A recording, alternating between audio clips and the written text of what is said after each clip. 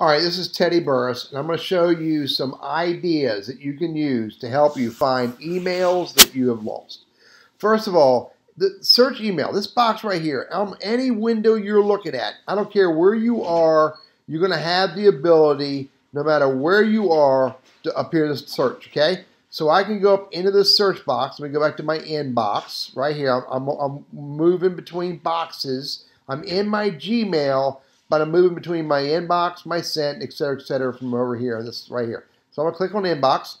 Now I'll say I want to find an email that you know has the word Randy in it. Type Randy, hit enter. There's emails with the word Randy in it. Say I want to find an email with the word T square. Type T square, hit enter. There's an email T square. Okay, hit the X. It'll take you back to the full. Take me back to the full list. Sometimes I have to click on inbox to go back to the full list. Okay, click on there, go back to the full list. You can type in any person's name. Okay, click on that box, type in Helena, and there's the email from Helena. And I can see it's in my inbox. All right, I'm gonna click on inbox, refresh. There's the whole list. But let's say I don't see my email up top here and I'm wondering where it is. A couple things to look at. First of all, go over here where it says 1-50 of 51 or whatever your numbers are. Make sure you're looking at newest and not oldest. If I'm looking at the oldest, it's going to show me this right here, and I got to hit this button to go back to see more. Make sure you're looking at newest, okay? A newest would be grayed out if you look at the newest, all right? So if you may not be looking at it in the right order, and maybe you lost, okay? Next thing.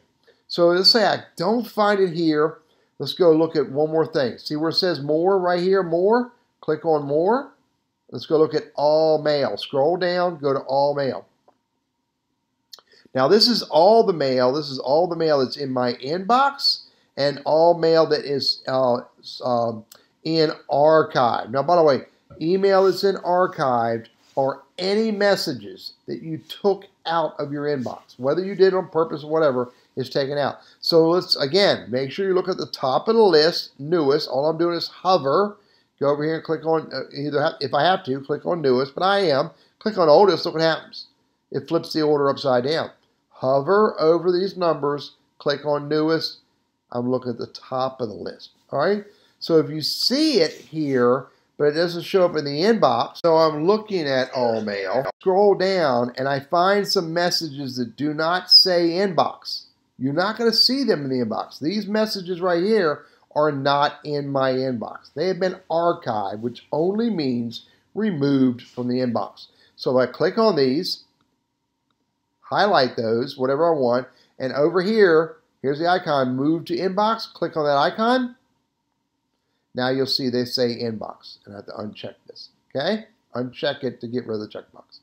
All right, so maybe they're not in your inbox. Again, go to all mail, make sure you're looking at the top of the list, and see if you can find them there. Last chance. The last chance to find an email that you can't find. Go to your trash. So look in, uh, and by the way, anything that's not, all mail is everything above. Spam and trash are not in all mail. Maybe it's in spam. Click on spam, see if it's there. Not there. Click on trash and see if it's there. Okay? By the way, any messages that are more than 30 days old will automatically be deleted. Okay, they'll let it happen automatically. You may find that the emails you're looking for are in your trash. If they're in your trash, then what you have to do is select them and go up here, hit move to, click on that icon there, and move them back to inbox. Right here, inbox.